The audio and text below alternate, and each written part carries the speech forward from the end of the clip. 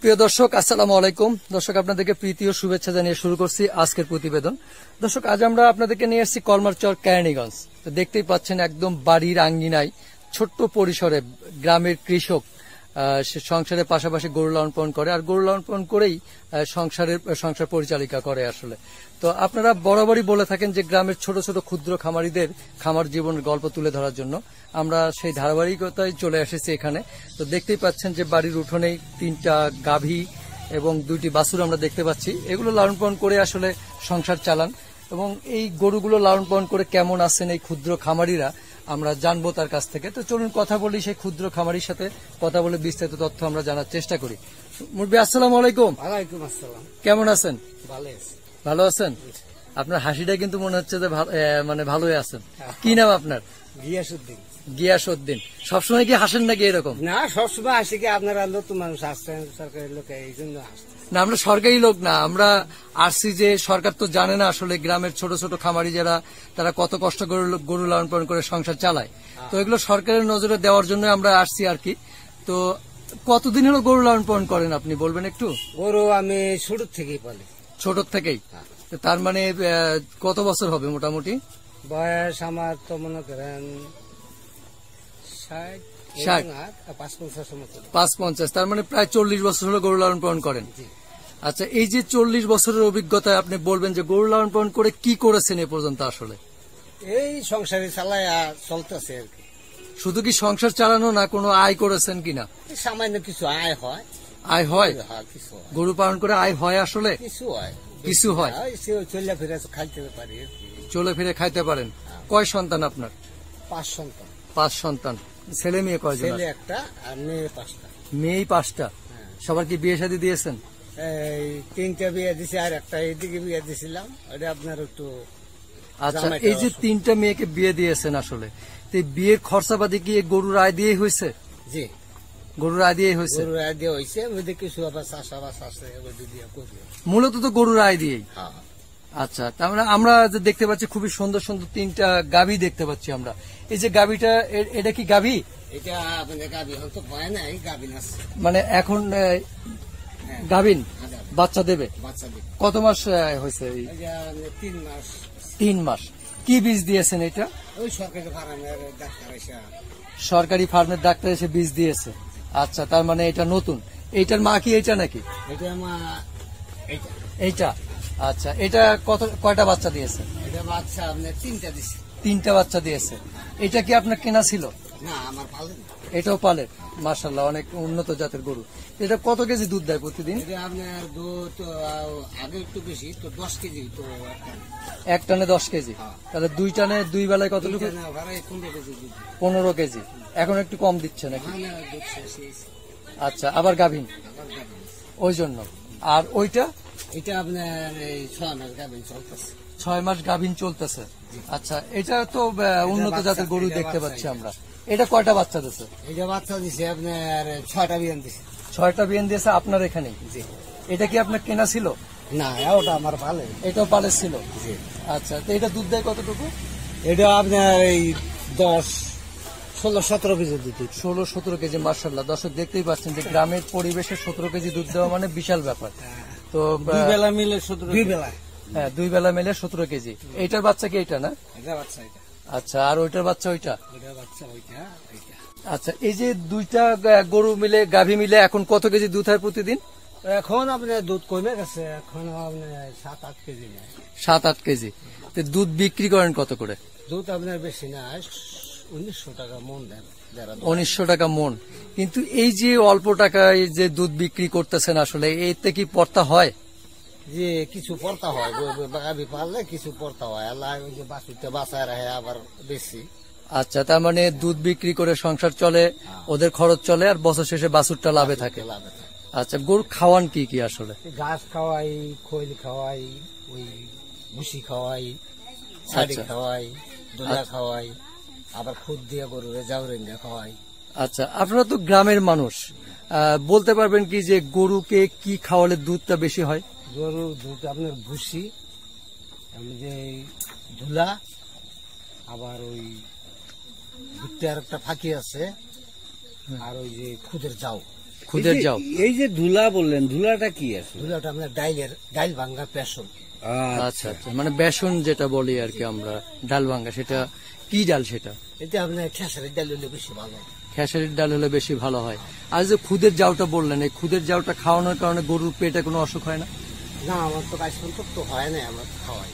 আচ্ছা গরুর সাধারণত রোগ কি কি হয়? গরুর রোগ আপনার কত রোগ গরু কত গরু ঠাস করে পয়রা মারা যায় কত ঘণ্টা গরু। আচ্ছা। আমি কত সময় জ্বর আই ঠান্ডা লাগে। এরকম কি হয়েছে কখনো যে অ্যাক্সিডেন্ট আমার এত বেশি অসুখ হয় না হয় নাই। আচ্ছা আমরা যতটুকু জানি যে এই যে গ্রামের আপনারা যারা প্রান্তিক ছোট ছোট খামারি যারা দুইটা চারটা গরু লালন পালন করে সংসার চালান তো সেই সব খামারিদের তো সরকার থেকে একটা সহযোগিতা দিচ্ছে আপনি কি সেই সহযোগিতা পাইছেন? না বাজান আমি সরকারি সহযোগিতা আমরা জানো না আমার।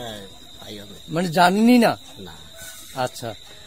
তো আমরা তো যতটুকু জানি যে ছোট ছোট খামারিদের দশ হাজার পনেরো হাজার বিশ হাজার টাকা করে যার যেমনই তাকে তত টাকা দিয়েছে। তো আপনারা পান নাই। তো প্রতিবেদনের মাধ্যমে সরকারকে কিছু বলতে চান? যে একবার একবার পাইছিলাম এই যে এইদিকে এইদিকে ওই যে আমার একটা বীজ দেয়। আচ্ছা। এক বছর আগে হ্যাঁ। বীজ দেয় সেই লোকটা দশ হাজার টাকা আচ্ছা তার মানে পাইছেন মার্শাল্লাহ তো সেই দশ হাজার টাকা দিয়ে কি উপকার হয়েছে না? অনেক উপকার হয়েছে। অনেক উপকার হয়েছে। তো এই- সেই পাওয়ার সুবাদে সরকারের কাছ থেকে আর কি চাওয়ার আছে বা কি বলার আছে সরকারের কাছে না সরকারের কাছে আমার কিছু চাই না। সরকারের তো কম। যেটা দিছে এই আর কি আমরা আমি তো আমরা তো কৃষক মানে আমরা সরকারকে চিনি কে কি করে। তবে আপনাদের চাওয়া যে এই কুড়া ভুসির দামটা যদি একটু কমে তাহলে- সরকারে আপনি কমাই কেমন? আমরা নাকি বাজার থেকে কিনা। আচ্ছা। না সরকার চাইলে কি পারবে না কমাতে? সরকার চাইলে পারবে। আচ্ছা। মানে কমলে তো অবশ্যই আপনারা একটু লাভবান হবেন। জি। আচ্ছা তো এই যে এতদিন থেকে যে গরু লালন পালন করতেছেন তিনটা মেয়ের বিয়ে দিয়েছেন আর কোনো আয় উন্নতি করছেন কিনা আসলে? আর কোনো আয় উন্নতি হয় না আমার এই সংসারে দিয়ে চলে। এই দিয়ে চলে? এই আপনি আর একটা জিনিস আমাকে বলেন আপনি যেহেতু দীর্ঘদিন গরু পালেন যারা নতুন এই গরু পালতে চায় তারা কি দিয়ে শুরু করলে ভালো হয়? যারা নতুন গরু পালতে চায় আর যদি এই দুইটা গায়ে সুন্দর মতো কিনে রাখে যদি আল্লাহ বাঁচায় রাখে তাদের সংসার দুই গাভী দিয়ে দুইটা তিন জায়গা গায়ে ভালো সংসার মানে এক এক গরুতে কয় লিটার করে দুধ হইলে চলবে? মানে দশ কেজি নিচে হইলে চলবে না। মানে লাভ হবে দশ কেজি হইলে মোটামুটি তিনটা দুই বেলা দুই বেলা তিরিশ কেজি দুধ চাই দুইটা চাইলে আচ্ছা দুইটা গরু থেকে দুই বেলা তিরিশ কেজি দুধ দিলে তাহলে লাভ হবে? তাহলে লাভ হবে না? আচ্ছা এই যে বললেন যে ধরেন বাজার থেকে একটা গাভী কেউ কিনলো বলে দিল যে গাভীটা বিশ কেজি দুধ দেবে। বাড়িতে নিয়ে নিয়ে আসার পর দেখল যে সেটা দশ কেজি দিল। সেই জিনিসটা বুঝবে কীভাবে? হ্যাঁ? গরুটা লস হইব। আপনার লাভটা যেমন হইলে ওই লাভটা কম হইব। লস হবে বুঝলাম। কিন্তু বুঝবেন কীভাবে যে গরুটা আসলে বোঝার কিছু নাই। বোঝার কিছু নাই। না এটা ঠক লস হই জিত লস কিন্তু ভালো মন্দ যাচাই করা বা ভালো জাতের গরু চেনার উপায় নাই? যাচাই করার উপায় নেই। ভালো জাতের গরু চেনার উপায় নাই?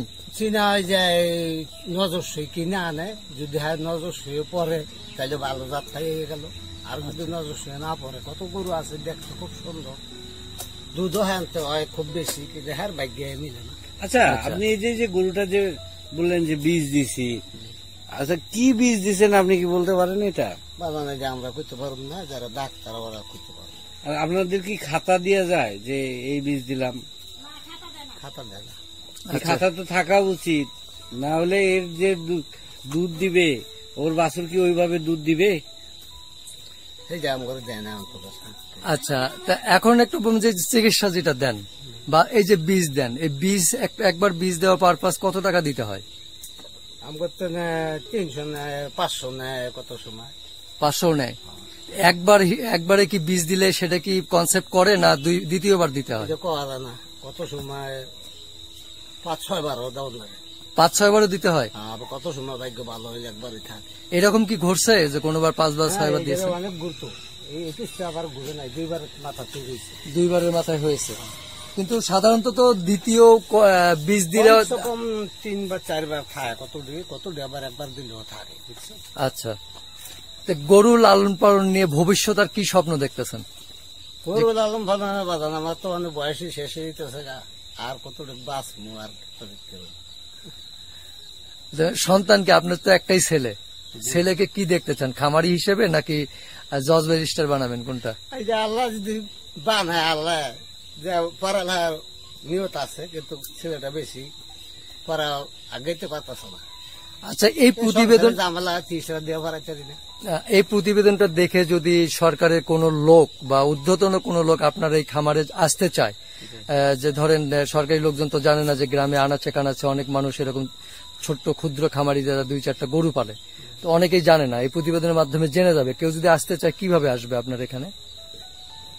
এটা আপনার এই যে আপনারা যেমন আইসেন না আমরা তো খোঁজ করে আসছি। তারপরে আপনার ঠিকানাটা একটু যদি বলতেন গ্রামের নাম বা ঢাকা থেকে কীভাবে আসবে? আমার এই গ্রামের নাম হলো কলমারচর আচ্ছা। আর আট নম্বর আচ্ছা। আর পোষ বেউতা। বেউতা? হ্যাঁ। আর থানা কেরানীগঞ্জ। আচ্ছা। জেলা ঢাকা। আচ্ছা অনেকে লাস্ট কথা একটু জানতে চাই। অনেকে বলে যে গরুতে খালি লস হয়। আপনার অভিজ্ঞতা কি বলবেন? আমার অভিজ্ঞতা আমার পালের গরু আমার লস হয় না কিন্তু সময়। লস হয় নাই? না। মার্শাল্লাহ অনেকটা ভালো লাগল শুনে। যে গরু লালন পালন করে তাহলে আপনি সুখে আছেন? জান সেলা আল্লাহর সাহেব চলতেছে। তো ঠিক আছে আঙ্কেল আপনাকে অসংখ্য ধন্যবাদ আমাদের সময় দেওয়ার জন্য। আসসালামু আলাইকুম। প্রিয় দর্শক শুনলেন গ্রামের সেই ক্ষুদ্র প্রান্তিক খামারি। তারপরে সরকারের উদ্দেশ্যে ঊর্ধ্বতন কর্মকর্তাদের বলব যে আসলে এই গ্রামের আনাচে কানাচে ছোট ছোট ক্ষুদ্র খামারি যারা এরকম গরু লালন পালন করে সংসারে হাল ধরেছেন, আমরা যদি নিজের উদ্যোগে তাদের পাশে দাঁড়াই, তাকে সহযোগিতা হাত বাড়িয়ে দেই, তাহলে কিন্তু তারা আরও সচ্ছলভাবে এই গরু লালন পালন করে সংসারটা পরিচালনা করতে পারবেন। এই প্রতিবেদনটা দেখে যদি দর্শক আপনাদের ভালো লেগে থাকে, তাহলে কিন্তু আমাদের সার্থকতা। সামনে এরকম নতুন নতুন প্রতিবেদন দেখার জন্য লাইক, শেয়ার, কমেন্ট এবং সাবস্ক্রাইব করে আমাদের সাথেই থাকবেন। সবাইকে অসংখ্য অসংখ্য ধন্যবাদ।